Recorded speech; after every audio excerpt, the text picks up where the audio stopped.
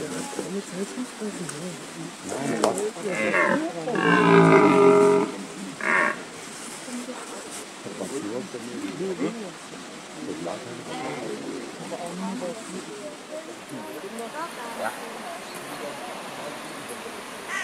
Wir machen übrigens hier nur die Kopfzüge, das ist ein Liquid Papier. Sehen Sie jetzt das Bild? Optimal.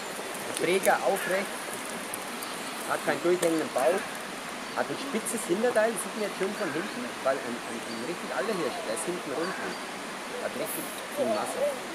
Die Prumpfmähne hat natürlich nicht so eine große Prumpfmähne, weil es ja noch ein junger Hirsch ist, hat eigentlich das Dammbild. Das kommen wir dann auch noch hin, wenn wir weitergehen. Plus vier Wochen versetzt. Also der Zyklus ist vier Wochen versetzt. Vier Wochen später.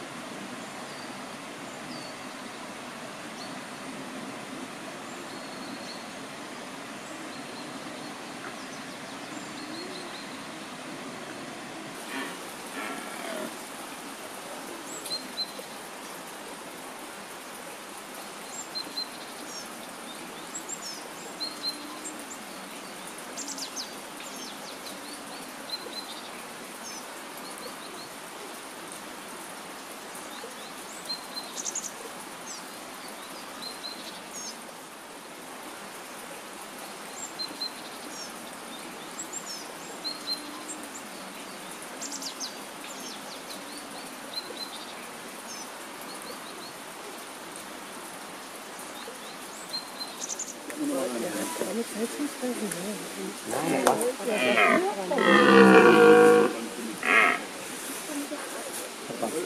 you.